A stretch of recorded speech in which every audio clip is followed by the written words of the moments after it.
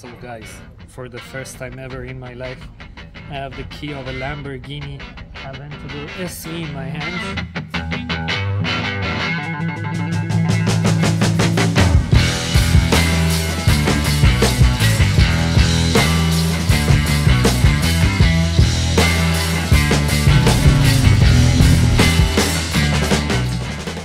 So guys, for the first time ever in my life, I have the key of a Lamborghini Aventador SV in my hands.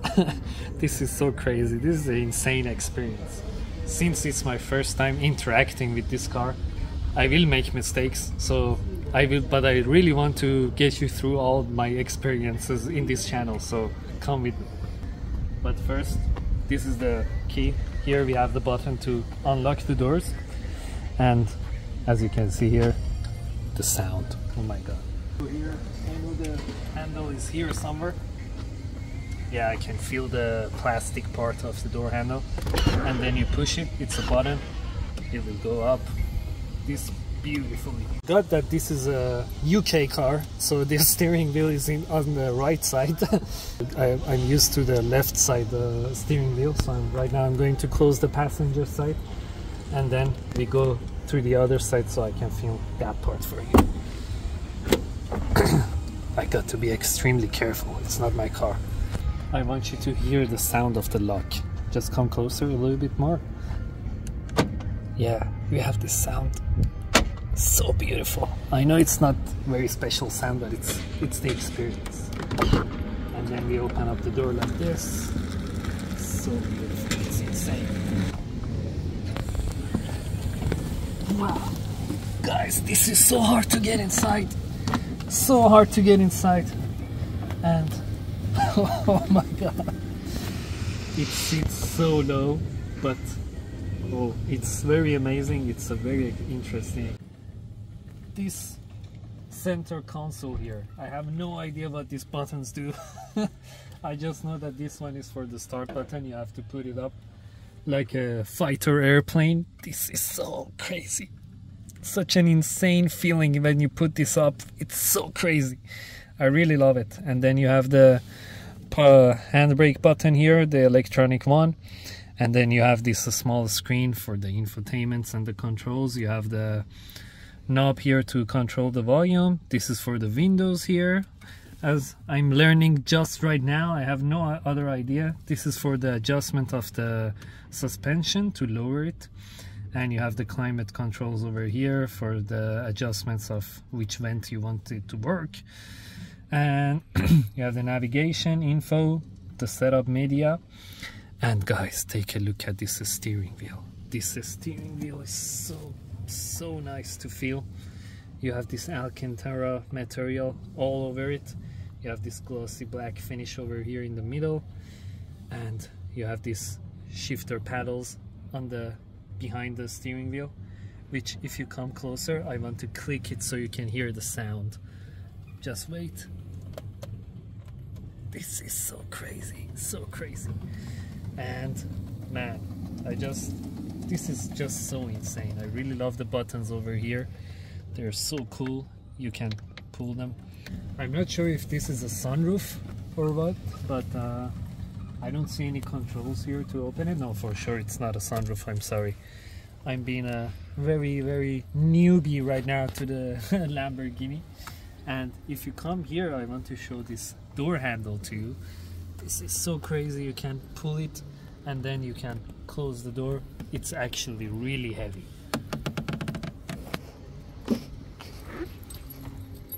that's it I didn't want to close the door because I'm trying to get out pretty easily. And this here if you look this is the part where you adjust the side view mirrors. And guys this Alcantara material all over the place I'm really loving it. Really loving this Alcantara material. But the seal here is actually very long so that's kind of what makes the getting in and outside of the car very difficult and also the seat is very deep in the back as uh, you can see my butt is pretty low down And the interesting thing is that I've never noticed when you sit here, you literally see nothing in the front. Like literally, I cannot see the bonnet. I don't know how is it possible to control this car and not to crash it to the anywhere. Like this is so hard to drive. Like this is such a hard car to drive. this is so crazy. And the A pillar here is actually very wide. It makes it also very difficult to see around the vehicle. But although the experience is very insane, the practicality is not the best in this car. This is, but this is so crazy. So let me right now get out of the vehicle. I'm going to pass the camera again. And this is how how am I going to get out of the car? So let me come through here. You have to sit on the seal a little bit and then put your leg underneath the steering wheel and then you're out. It is such a difficult thing to do to be honest but Anyway, I rather have this kind of difficulty and problem in my life than anything else. And right now we are going to close the door. The feeling of this big part where you are able to put your hand on and close the door is so amazing. And it's closed off. And there is a beautiful detail behind the A-pillar glass and this is one of 600 units of this Aventador SV. This is so crazy. I've never seen that detail. And if you come close to the headlights, take a look at these beautiful crystal details, guys. This is so insane. How could a design team come up with this kind of details? This is so crazy. And then let's move to the back. Let's see what kind of details we can find in the back.